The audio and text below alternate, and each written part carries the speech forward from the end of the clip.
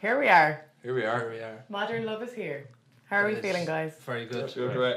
Excited. What is it like to have this out there finally? It must be uh, like passing over your child to the world. Yeah, it is. It doesn't feel like our album anymore. It feels like it's everybody else's album. We've Uh-huh. given it. Uh, we've we've done it our bit. Yeah. you go listen to it. Um, but it's exciting, and Yeah. we've been waiting for it for a long time. Mm-hmm, So it's great. I listened to it in full uh, over the last couple of days. Right. Amazing. Genuinely, wholly impressed. Congratulations. Thank you very much. This, uh, this was Thank so highly anticipated. Yeah. Particularly intrigued and interested. Obviously, the big single, Modern Love, is going to be the first official single I'm hearing, right? Yeah. Yes. Amazing, Yeah. bring it. Um, but a real standout song for me was this collaboration with this female vocalist. This is just sounds class too. Tell me about tell me about that. That's actually that song "Someone to Hold" was the third song I think we've ever worked on together ever. So back in 2015. No, okay, it's Uh, been in the works for quite some time. Yeah, okay. so so we did it. I, kind of wrote it, I wrote it as a duet, wrote the whole thing start to finish, Mm-hmm. and then we recorded a version of it, and it just kind of we never really got it fully right, Mm. and we never had the right female singing on it. We just had like a demo vocal, yes. um, and then Chloe, who sings on it, she's an Australian Mm-hmm. pop singer, um, who's amazing. Her voice is incredible. Uh, she was suggested to us, um, and we just listened to her stuff and got her to record a pass of it. And we knew then that she was the person that needed to be on it. She was the perfect person for it. Mm-hmm. Um, and then yeah, so we wanted to put it on the first album, but it just Okay. wasn't right. So then the timing was right this time. One hundred percent, and like modern day discovery as well to discover someone in that in that way. Yeah, that exactly. I presume you didn't get a chance to meet the girl. No, I've you know. never never met her. So was this the constant over Mac with WhatsApps as well? Yeah, was- yeah, I've talked to her like on Instagram a few times and Yes. stuff like that. Yeah. But, Okay. Yeah, it's cool. Um, so you went to New York, you know, bl- far gone from Athy now, lads. We're in New York launching this album. How was it? It looked amazing. It was. Right, It was. yeah. It was a great experience. Um, we didn't think we'd pull it off. Um, we wanted to launch from somewhere iconic. Yeah. And no better place than Empire State Building. Sure. And it was good fun. Yeah, it was windy up there and cold, um, but it was it was worth it. It Yeah. was worth, yeah, it was good. A good And experience. I, we mentioned this kind of off air a couple of minutes ago. Did you get a chance to like enjoy New York and take a second to yourselves to, to, to have some personal time, or was it just work, work, work? It was work and sleep. It was work and sleep, yeah. Like we've we first went to New York a few years ago as Yes. a band, and we did all the touristy stuff. And now when we go there, we just kind of meet up with friends. Like our record label's there, and Yeah. We're great friends with them. So we really just go out for dinner and relax. Lovely. Yeah. Yeah, Stuff like that, dream. And how was the big performance in NBC?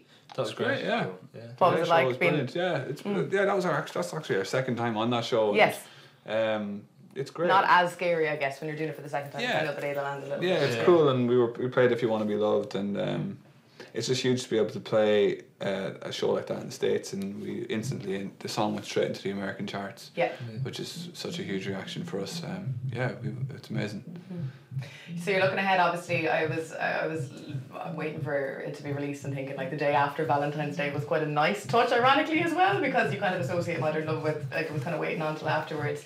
Um, but you're gearing up for a very busy 2019 then, guys. Yeah. We are. We're excited. Yes. The t- we're going into production rehearsals next week Uh-huh. um, for the Five tour. nights in 3Arena. Five nights in the Tree. Arena. Yeah. Mhm. Um, starts in Stockholm, goes through Europe, UK, Mm-hmm. um, then finishes in the five nights in the 3Arena, and then after that we're on to uh, an American tour through Okay. through April and May, Mhm. and then we've festivals and stuff over the summer, then UK tour end of the year. So we're Okay, we're it's gonna be mad. Very busy. Yeah, we'll be Yeah. working on new music all that time as well. Mhm. Um, working on the third album. Um, can you tell us anything about? How, I uh, question one before I get into this. Uh, how often do we do you think about that electric picnic performance? Does it cross your mind every day? Yeah, I actually posted on Instagram about it last night. Um, I think about it a lot. It's it was an emotional moment for us as a band. It was kind of a it really kind of solidified us. I think I got quite emotional on stage that night. Um, and we sat in the dressing room afterwards for like twenty minutes just in silence, just kind of staring at each other like. And then Cliff just burst out laughing. It was just we just didn't know how to react. It was I just it was an un- unforgettable night. Mm. Especially coming so close, like we all live 15 minutes from from Stradbally. Yeah. And, like growing up, that would be a iconic festival, and then we were finishing up the Sunday night, so it was a mm. real, definitely a real moment for us. Yeah, wow moment for us. Uh, things have just evolved so quickly, and this goes without saying now. I feel like I'm kind of stating the total obvious, but in terms of how we've met over the years, for you guys and how this evolvement is happening so quickly and it's gathering speed so quickly, do can you go anywhere in Ireland without being recognised at the moment? it's you, you get recognized all the time, but it's I hear people complain about it a lot. But like I'm never. Like, can you go down to the local deli now and get yourself battered, like, you, you, a few I- sausage rolls? I can. can you, can you do that peacefully? I, I, can, I can get myself a sausage roll, but I'll have to get selfies and stuff. But I don't mind it. I appreciate Okay, okay. it. I, I have no problem. I have time to talk to anybody who wants to talk to me about the band. Of course, of course, yeah. th- This is what we we got into this for the band to be the biggest band it could possibly be. Yeah. And for us, we're not famous as people, but the band name is famous in this Uh-huh. country, which is great. Mm-hmm. And that's exactly how we like it. Everyone knows the name of the band, knows the songs, and that's how we love it. We love the band being famous. We want the band to be as famous as it can be. Yes.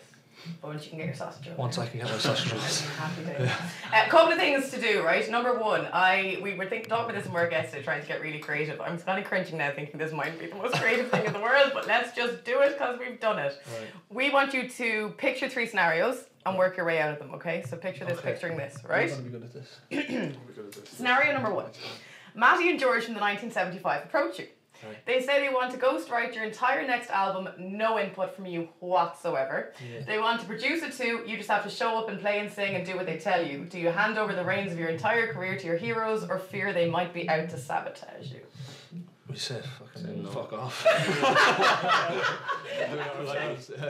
That's it, no? yeah, absolutely not. Yeah. Fair. Scenario two. Picture this can only continue if Ryan commits to performing wearing only the Kildare GAA tracksuit constantly when representing Picture This. Right.